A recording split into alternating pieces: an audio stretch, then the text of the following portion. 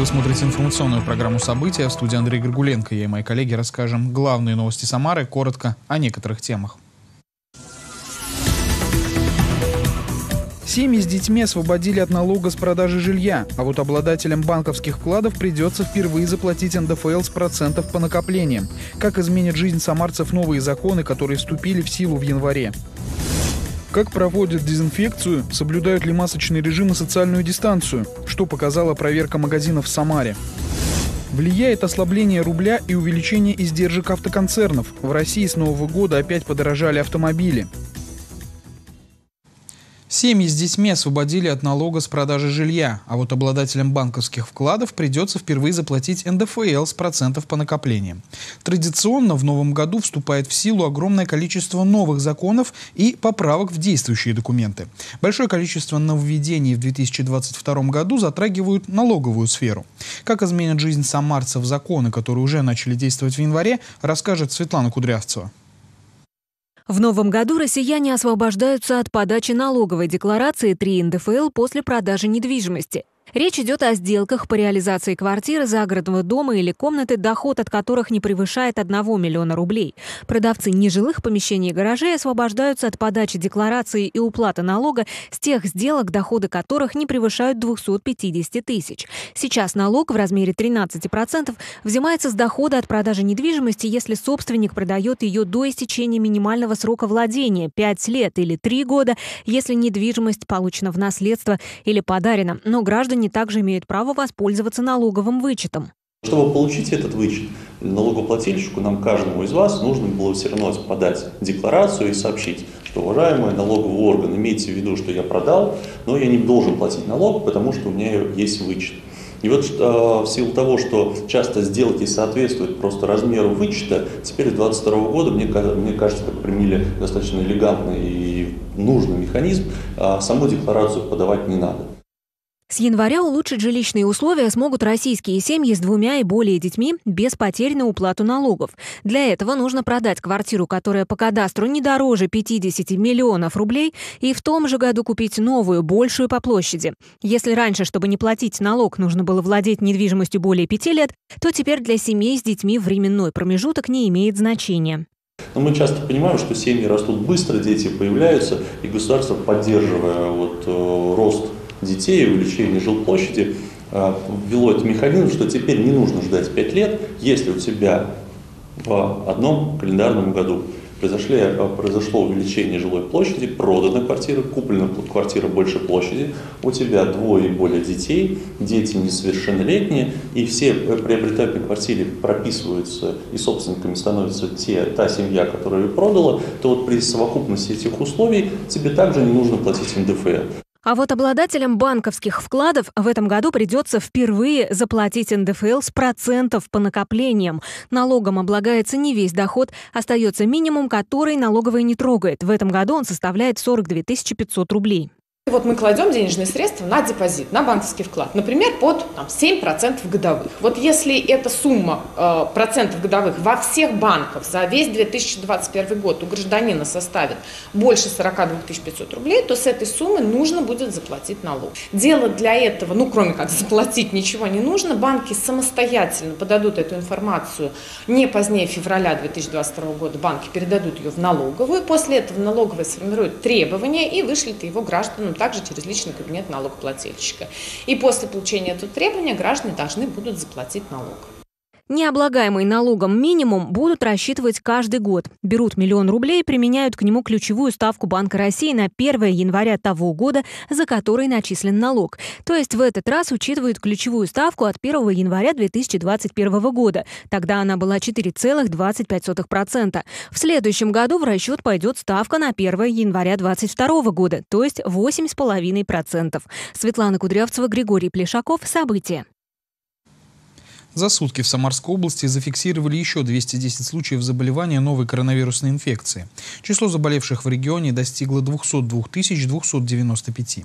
В Самаре продолжают проверять, как в торговых центрах соблюдаются ограничения, которые вел Роспотребнадзор из-за пандемии. Работа не останавливалась и в праздничные дни, когда весь город отдыхал. На одном из таких рейдов побывал Михаил Ермоленко. В дни новогодних и рождественских каникул, когда самарцы стремились проводить время в общественных местах, соблюдение ковидных ограничений было на особом контроле городских властей. Мониторинг проводится и сейчас. В фокусе внимания проверяющих объекты потребительского рынка, от магазинов у дома до крупных торговых центров и пунктов общественного питания. Ежедневный мониторинг проводят внутригородские районы, преимущественно при участии полиции или иного ведомства, уполномоченного составлять протокол об административном правонарушении. Сотрудниками администрации составляются материалы и направляются в Управление гражданской защиты городского округа Самары и во временный контрольно-распределительный центр для принятия мер в соответствии с действующим законодательством. Проверяющие в первую очередь следят за тем, как покупатели и арендаторы соблюдают масочный режим, как организованы пропускные пункты на входах в торговый центр, а также как проводят дезинфекцию на территории комплекса. В свою очередь, сотрудники торговых центров в будни и в праздничные дни стараются обеспечить для покупателей безопасное пространство для шопинга и развлечений. Проход посетителей у нас осуществляется с шести входов в торговом комплексе. Везде стоит охрана, которая контролирует QR-кода, Э, ПЦР-тесты. Ежедневно проводится дезинфекция в торговом комплексе. Э, на входных группах у нас находятся э, везде дезинфекторы, диспенсеры. 17 точек всего. Подобные проверки уже третий год ежедневно проводят по всему городу. Так, например, в железнодорожном районе с начала действия ограничений выявили порядка 700 нарушений. За весь период только здесь наложили штрафы на общую сумму свыше 2 миллионов рублей. Проверяющие напоминают, за невыполнение требований безопасности юридическим лицам грозят санкции в размере до 300 тысяч рублей. Повторное совершение аналогичного административного правонарушения влечет наложение штрафа на предпринимателя в гораздо большем размере – от 500 тысяч до 1 миллиона рублей или административное приостановление деятельности на срок до 90 суток. Михаил Ермоленко, Николай Сидоров. События. Спортивные объекты в течение праздников также были в центре внимания проверяющих. Фитнес-клубы города начали свою работу с 4 января. Специалисты Департамента физической культуры и спорта проводили мониторинги спортклубов на соблюдение требований Роспотребнадзора. Гульфия Сафина проверила, как протекали тренировки. Вставляешь личную карту клиента спортклуба и интеллектуальная программа запускает тренажер. Наличие QR-кода спортсмена также видит умная система. Без них работа не начнется. Такие условия занятий в этом фитнес-зале клиенты не сразу восприняли с радостью. Но по словам Натальи Горковенко, она занимается здесь почти 6 лет, так и удобнее и надежнее. Сейчас уже просто становится все равно, и уже привыкли, видимо, уже просто не обращаем на это внимания. Все, мы прекрасно все понимаем, все взрослые люди, ходим с прививками. Тренажерные залы заработали в Самаре уже 4 января по режиму праздничных дней. По оценкам сотрудников клубов, посетителей было чуть меньше, чем обычно. Поэтому важно было сохранять антиковидные стандарты безопасности. Тем более и сами клиенты обращают на соблюдение необходимых мер внимание. Страх за собственное здоровье и жизнь. Это первое. А второе, ну, это общемировая практика, наверное, все-таки. Обеззараживать помещение, себя и забота об окружающих. С самого начала введения ограничений э, в нашей области мы, соответственно, соблюдаем все меры предосторожности. Это масочный режим, температурный контроль, э, также, соответственно, э, контроль температурных сотрудников. На данный момент также ведется учет QR-кодов а также обработка поверхности по графику, установка рециркуляторов воздуха как в общем зале, так и в раздевалках. За несоблюдение требований Роспотребнадзора бизнес может понести серьезное наказание. В проверке проводятся каждую неделю. Мониторинг э, организации, осуществляющих физкультурно-спортивную деятельность, осуществляется департаментом спорта регулярно. Он и не прекращался с момента выхода э, постановления об ограничительных мерах. Да, на первоначальном этапе такие случаи были. Э, ограничились мы внушением, предупреждениями, что, в общем-то, после этого организации устраняли нарушения. И хочется сказать, что э, у нас с ними полное взаимопонимание. На сегодняшний день, по оценкам специалистов Департамента спорта, все спортивные клубы города работают в привычном режиме. Эксперты напоминают, самым эффективным способом защитить здоровье от коронавируса остается вакцина. В празднике в городе работали 63 прививочных пункта, три из которых круглосуточно. Гульфия Сафина, Константин Головин. События проводят проверки и в общественном транспорте. Межведомственная комиссия следит за тем, носят ли самарцы маски, находясь в салоне автобуса или трамвая. По словам специалистов, антимасочников стало гораздо меньше. За 10 праздничных дней составили всего 11 административных протоколов на нарушителей. Обо всем подробнее расскажем в сюжете. В Самаре с каждым днем фиксируют все меньше нарушений масочного режима в транспорте. Новогодние праздники не стали исключением. За прошедшие 10 дней во время проверок составили 11 административных протоколов на нарушителей антиковидного режима. При этом контроль не ослабевает, и с началом первой трудовой недели 2022 года межведомственная комиссия, состоящая из представителей Дептранса, городских перевозчиков и сотрудников полиции, вновь выходит в рейд. Одна из точек во время утренней проверки на Московском шоссе, через которое пролегает большое количество городских маршрутов. Контроль за соблюдением масочного режима проходит ежедневно в усиленном режиме. Все так же охватываем все виды общественного транспорта. Это электрический транспорт, трамваи, троллейбусы, метро, автобусные маршруты в пиковые часы, в межпиковые часы. Транспортные предприятия, в свою очередь, заботятся как о пассажирах, так и о своих сотрудниках. Перед началом работы проводят дезинфекцию подвижного состава, повторяя ее между рейсами. Перед началом работы персонал предприятия проходит необходимый инструктаж. Экипаж проходит инструктаж ежедневно, получает все защитные средства, также работает автоинформатор, и также работает телефон горячей линии, на который все пассажиры могут сообщить, если кто-то был без маски, если э, было грубое нарушение. Каждую неделю проводится порядка 80 рейдов. Их количество не будет снижаться до особого распоряжения оперштаба по борьбе с распространением COVID-19. С осени 2020 года полиция составила около тысячи административных протоколов на антимасочников. Из них 835 только за минувший 2021 год. Проверяющие отмечают, что бывают случаи, когда один и тот же человек попадается дважды. Вместе с тем не снижаются и объемы работ по дезинфекции подвижного состава, а в течение всех рейсов в салонах работают рециркуляторы для очистки воздуха от вирусов и бактерий. Михаил Ермоленко, Сергей Баскин. События. В Самаре продолжается регулярная дезинфекция подъездов жилых домов от коронавируса. Особое внимание при обработке уделяют контактным поверхностям. Не вреден ли состав, которым обрабатывают жилые дома для человека, выяснила Мария Левина. Особое внимание при дезинфекции подъездов уделяют контактным поверхностям – ручки дверей, почтовые ящики, кнопки лифта. Все это обрабатывается особо аккуратно. Используют специальный препарат с содержанием хлора. Для человека он безвреден, чего не скажешь о вирусах. Действие такой обработки может сохраняться несколько дней, однако по распоряжению губернатора Дмитрия Азарова, чтобы не допустить распространения коронавируса, дезинфекцию в подъездах многоквартирных домов проводят ежедневно.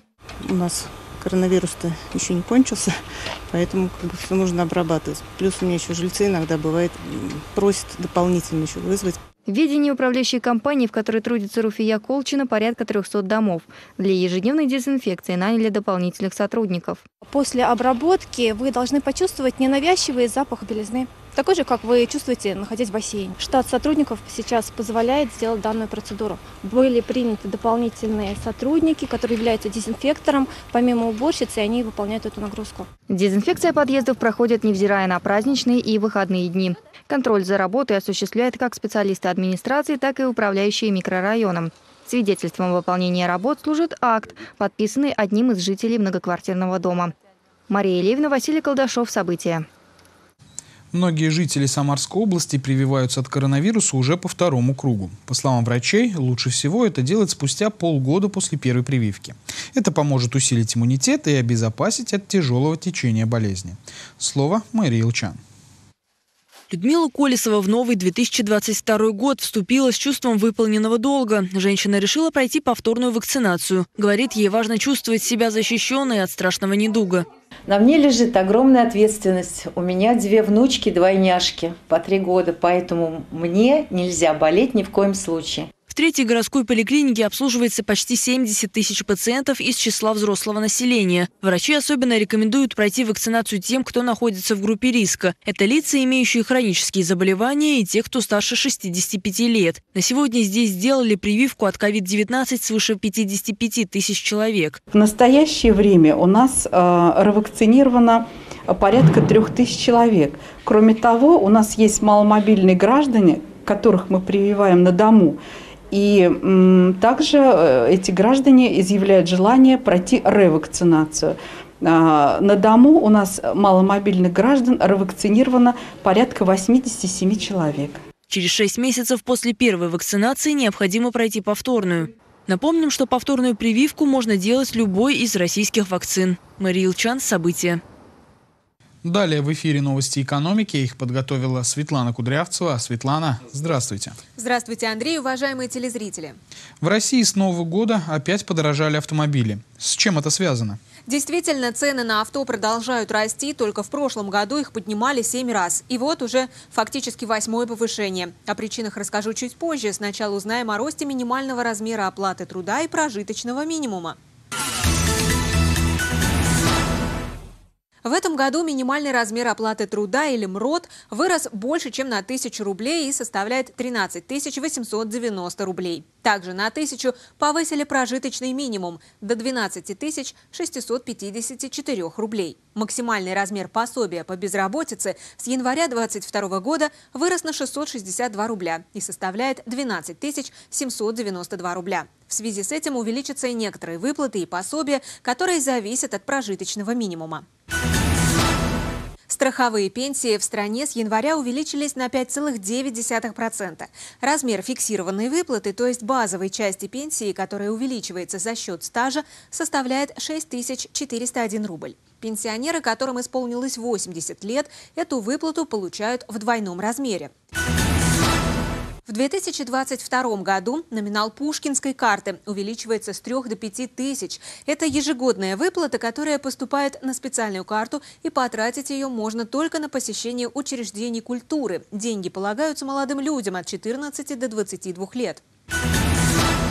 Однако не перестают расти и цены. Стоимость автомобилей в России с января традиционно поднялась примерно на 3%. Как объяснили эксперты, на ценообразование в начале каждого года, кроме инфляции и курса валют, существенно влияет Стоимость сырья, которая используется для производства автомобиля.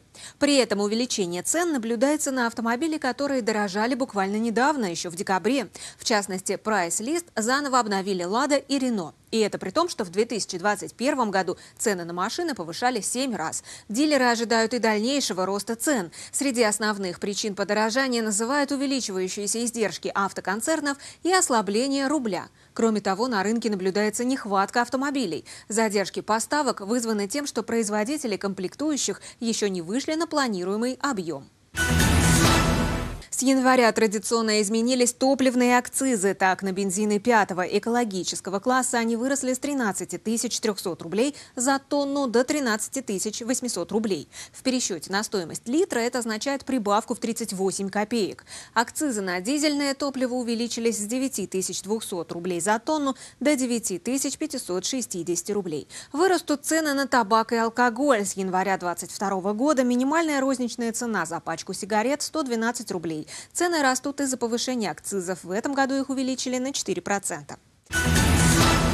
Официальный курс доллара 75 рублей 13 копеек, доллар вырос на 84 копейки, евро 85 рублей 13 копеек, европейская валюта прибавила 1 рубль 6 копеек. Нефть марки Brent 81 доллар и 29 центов за баррель.